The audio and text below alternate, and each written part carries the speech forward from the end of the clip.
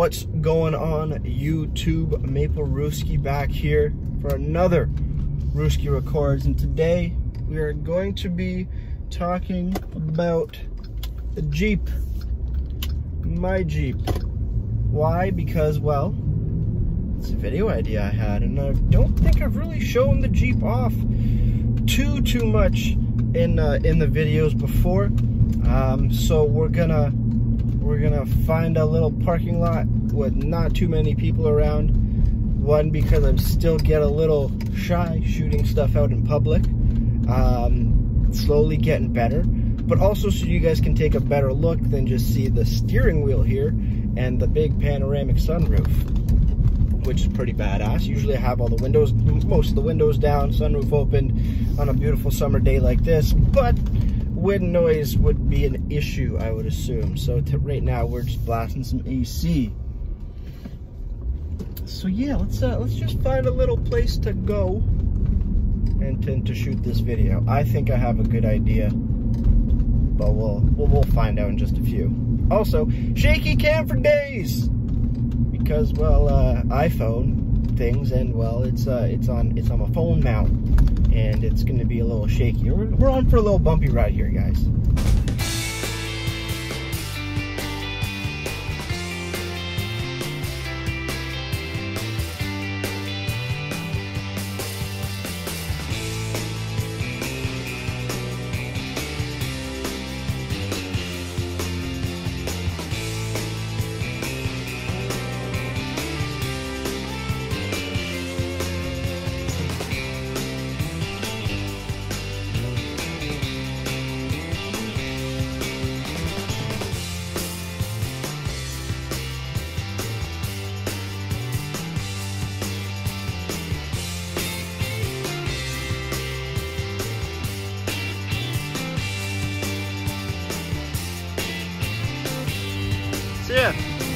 My Jeep. This is my Jeep Grand Cherokee 2012 Laredo X. It's a, it's a pretty badass Jeep, to be honest. If I do say so myself. Got it in, got it in great. I'm trying to figure out still the camera, but it's looking, it's looking pretty snazzy.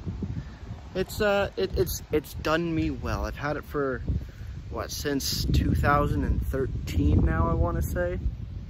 Yeah, Easter of 2013. So it, it's definitely it's definitely served me uh, fairly well so far. So let's take let's take a little bit of a look at it, shall we?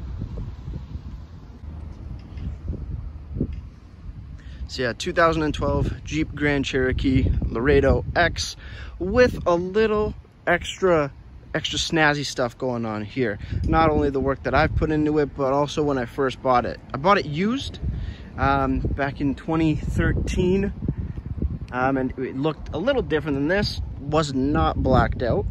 Mm, didn't have these rims or tires either. Came more or less it was, it was, it was pretty much stock. It was uh, it was actually a rental car company's funny enough.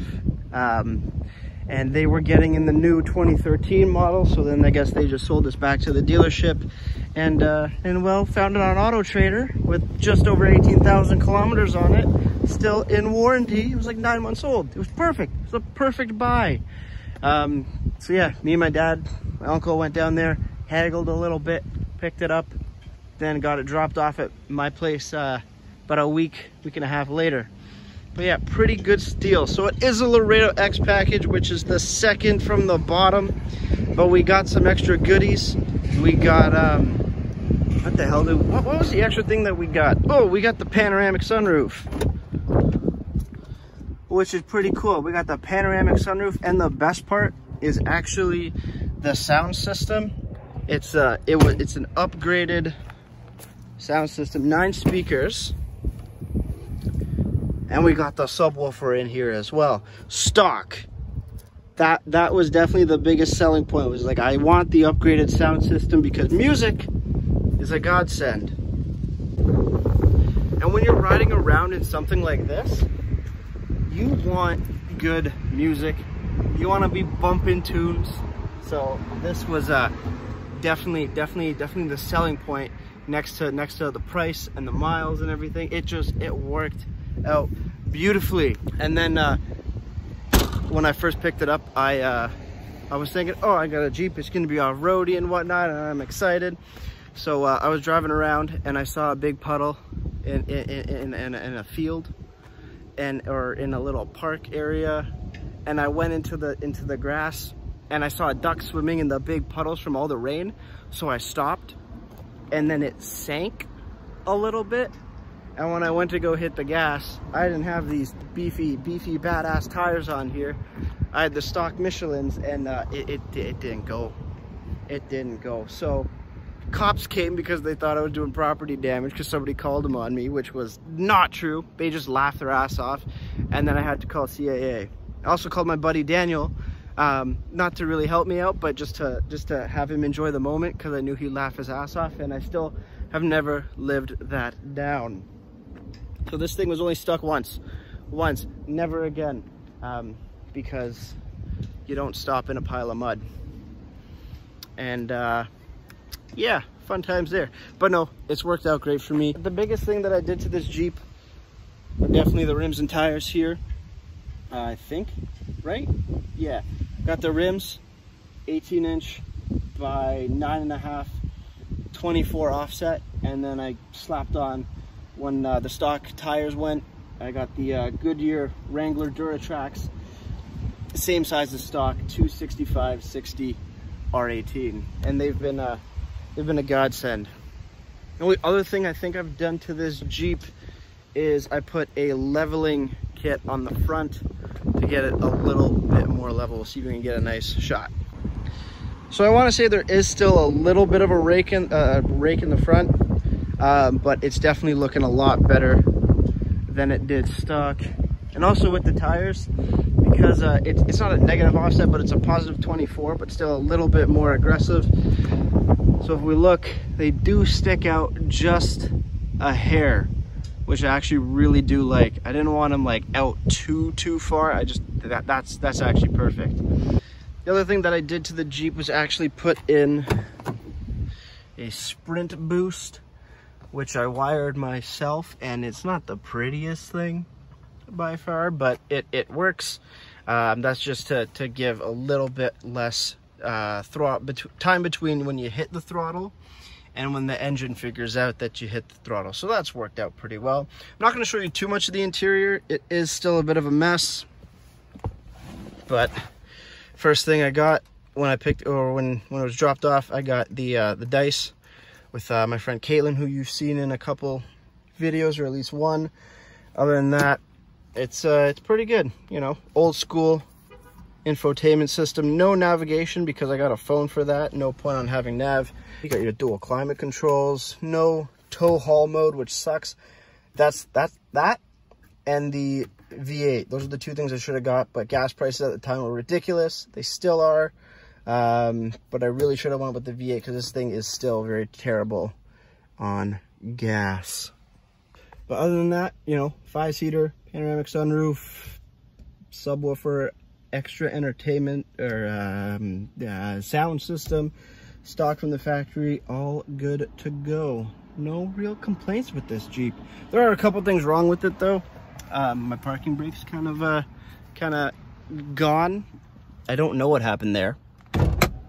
Um, so that's that's something that needs to be fixed post post COVID. And also the other thing that I messed up was, or well, I didn't mess it up. It was cracked a little bit and then uh, I was I was driving over the Burlington Skyway and the uh, this this portion here just uh, it, it flew flew off. So that's something that needs to be fixed as well. One funny story though I was uh, was a couple a couple summers ago. Uh, one night out with the boys drinking and uh, the next morning I get woken up by my dad hung over a shit. It's like 40 degrees outside and he's like Nikolai um, your, your, your back window exploded. I'm like, well, what do you mean exploded? He's like, well, it's not there anymore. I'm like, what do you mean it's not there anymore? And yeah, I shit you not, I'm pretty sure what happened because no one broke into it, 100%. But because it was such a, it was such a strong heat wave that the whole back pane like popped and exploded and was just all over the trunk, all on the ground of my driveway So that was a, that was a fun day. So that's something I learned. Extreme heat can blow out windows, apparently. But yeah, now I'll just show you the engine little, little real quick. Yeah, like I said earlier, the one thing that I do wish I did get was the V8, but we do have the 3.6 liter Pentastar in here. Still all stock. I've been wanting to do a cold air intake, just don't have the, the money for it at the moment. Well, at least for that. I'm just like, it's, it's not worth it right now. But the engine bay is so is so large because you can fit the 6.4 in here and now putting in the 6.2 supercharged Hellcat engine in the Grand Cherokees. But I should have definitely went with the V8 just because gas mileage on this right now isn't is it's not great. it's a it's a thirsty it's a thirsty sucker for sure. But might as well just show you the engine real quick. It's nothing fancy. It's fairly dirty, and that's pretty much that. So yeah, that's uh that's the Jeep. I uh, hope you liked the video. Short, sweet, just something interesting to show you. And uh, yeah, now you know a little bit more about me. Pretty cool stuff. Um, if you have any, you know, comments, questions, concerns, let me know down in the comment box below. As well, um, if you have a story about your car or want to tell me what you drive, that'd be kind of cool too because uh, I'm a big car guy and especially uh, a big Jeep guy as well. Any recommendations for modifications that you want to see on this? It'd be kind of cool whenever I get make a little bit more money, make a little bit for the Jeep budget. I'll, I'll definitely put it back in. But yeah, video for today. Hope you guys enjoyed it. Like, comment, subscribe, all that fun jazz. And uh, with that said, I'll see you in the next one. Big things are coming soon. Stay tuned.